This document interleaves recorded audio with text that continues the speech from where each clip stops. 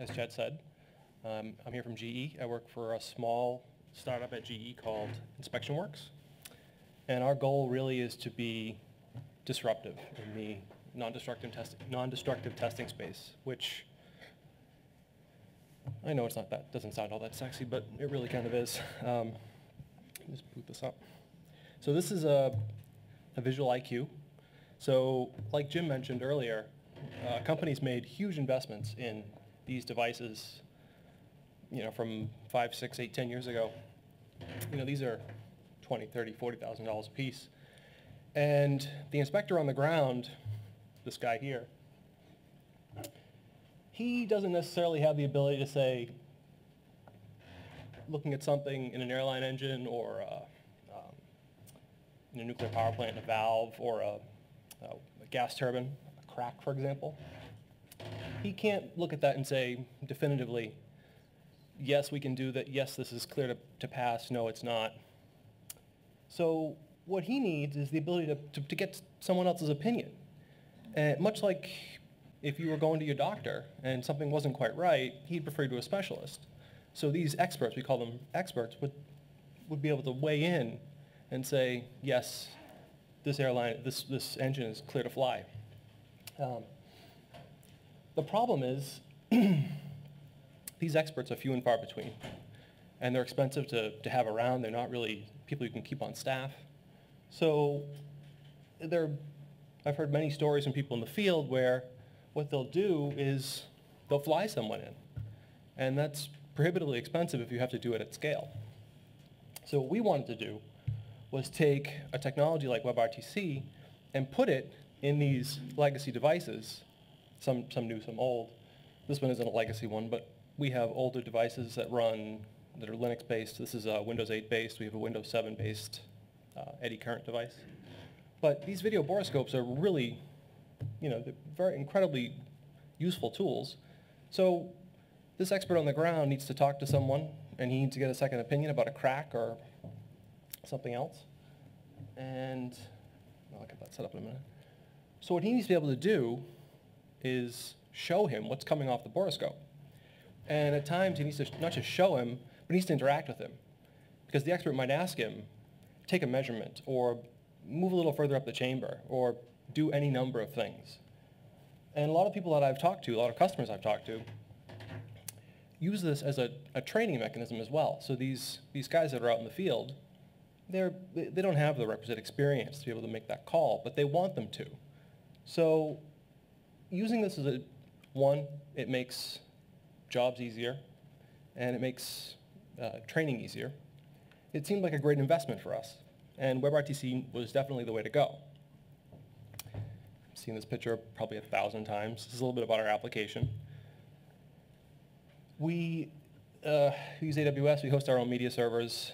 There's a lot of good reasons for that, um, not the least of which is it just makes a lot of things easy. Again, custom signaling, uh, JSON over WebSockets. But if you were a customer that was concerned about security and privacy, we could colo a turn server at your location and kind of pop back and forth, and it would all be seamless uh, on the device, we use libraries from Doubango Telecom.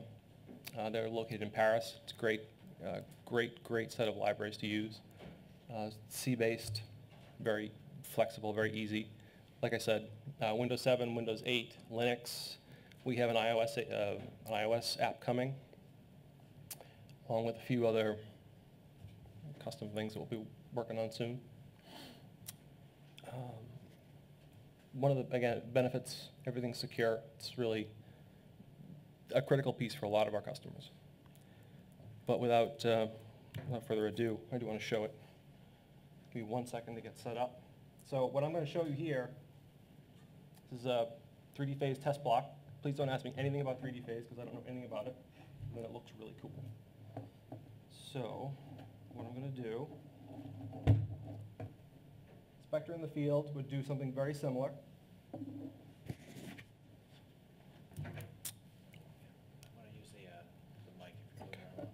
So inspector in the field would do something very similar to what I'm going to do right now.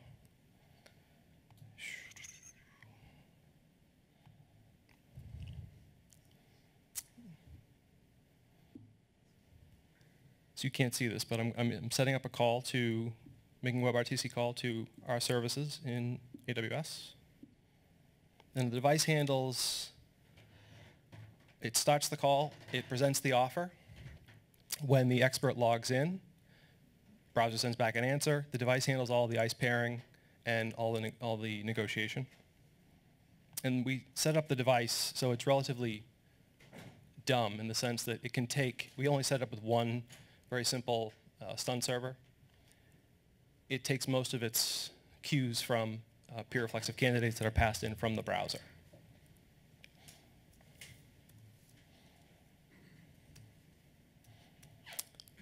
So the, the inspector would start the session up.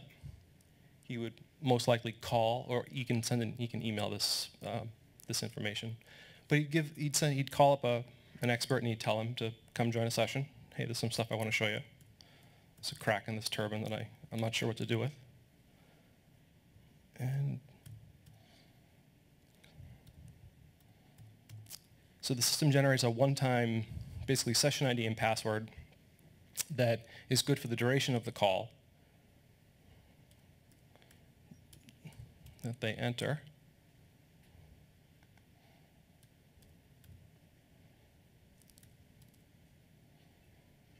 And once the expert logs in, see, we get things kicked off.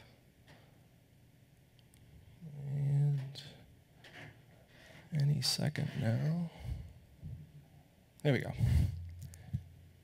Perfect. So, there is the borescope. All right, so I'm going to move this in a little bit. So if I'm the inspector, I might ask him, hey, move that in a little bit. And I want you to take, I want you to measure that crack. So he would do this. He'd tell him, take a 3D phase capture. I want to do a depth measurement. So the device, we don't send the same frame rate from the device to the web. So we're, you're looking at about 14 frames a second, roughly. So right now we're in, a, we're in freeze frame, and we're ready to start doing some measurements. So as the expert talking to the inspector who's measuring this crack, he says, I want to know how deep that is. So he, he can walk him through the procedure. He can tell him, hey, I want you to click on measurement. This is a touchscreen. And I want you to do a depth profile. And in the event that they're not able to speak on the phone, they could, in fact, chat if they wanted to. Um, they can, can type whatever he likes in there. He also has this set of annotation tools over here. So he can say, take your depth profile here and here. And the, the, the inspector can then drag his circles wherever he'd like and prepare for a measurement.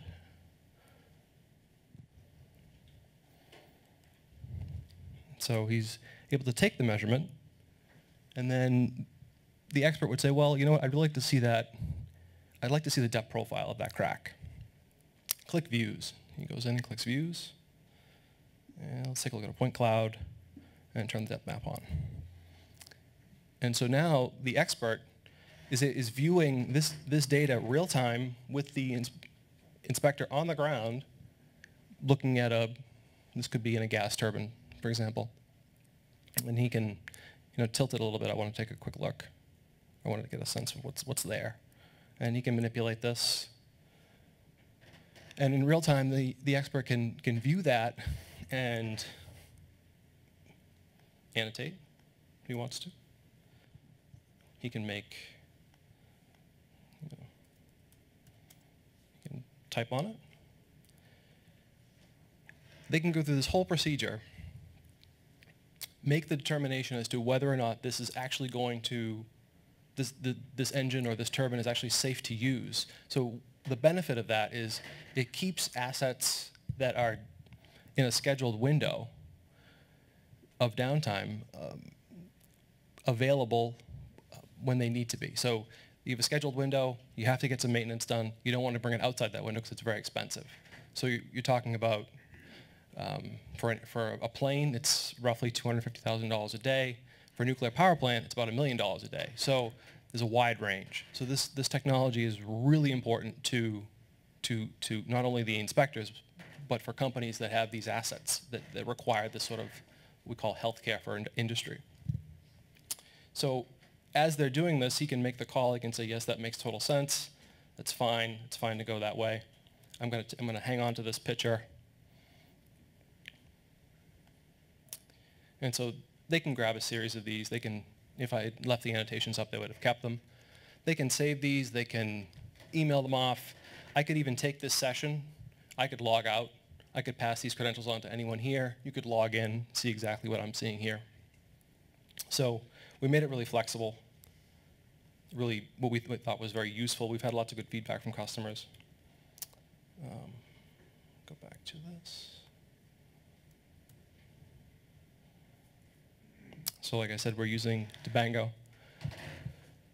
It's a really incredibly efficient library.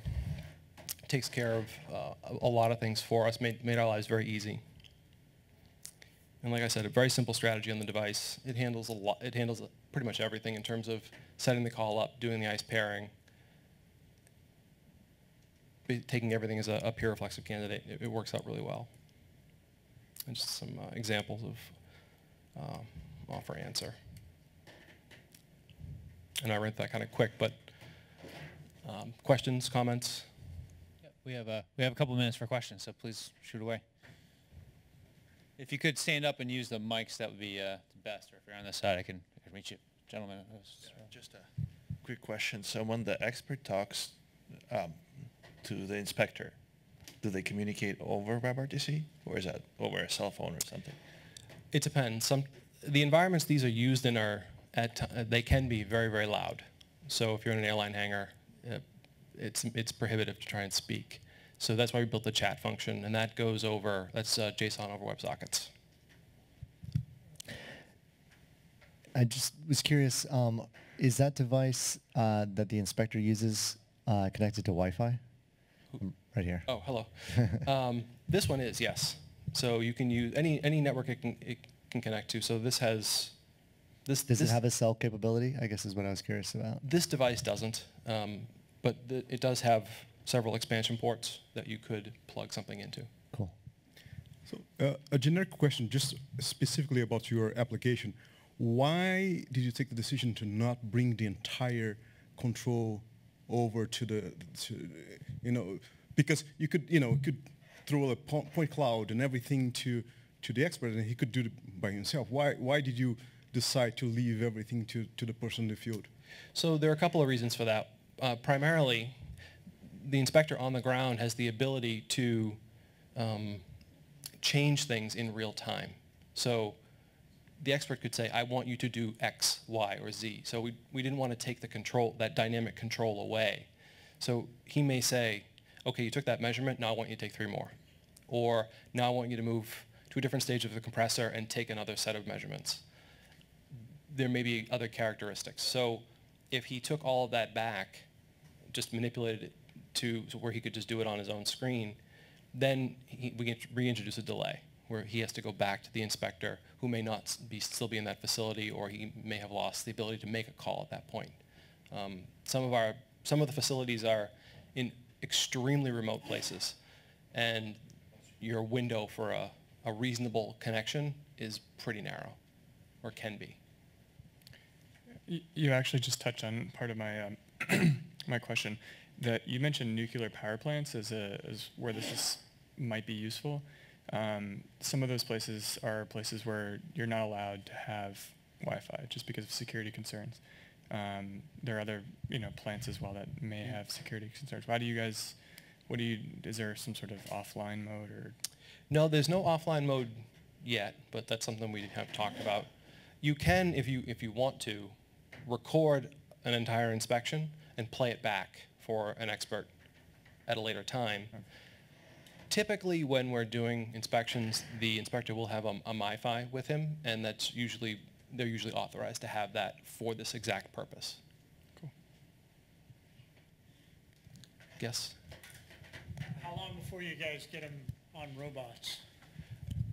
Not long. Not long. I had another question on that, sort of the history of this. So the inspector, prior to having this device, uh, had to be the expert, sort of what you were saying. How did they do some of these depth measurements? Did they have other tools? Because this is, you're doing way more than just video mm-hmm. and RTC. You're, you know, there's a lot of, that was like computer vision, mm-hmm. some other techniques going on there. So what would, ha- what would end up happening is there would be a, there really would be a lag. So I would take, as an inspector, I, not as someone who's not able to make that judgment call, I would have to take bet- anywhere between two and 500 still images and send them to someone for either image analysis, and then a report would be compiled, or just a plain, you know, a straight report of images that someone could look at and say, oh, when I say someone could look at, I mean several days or even weeks later could say, yes, okay, that, that asset is, is within, is in range, or let's send someone else out to that asset. So the, the turnaround time is, is in, increased exponentially with, with technology like this. Bring it to these devices. Thank you. Thanks so much, Chris. I, I, I personally.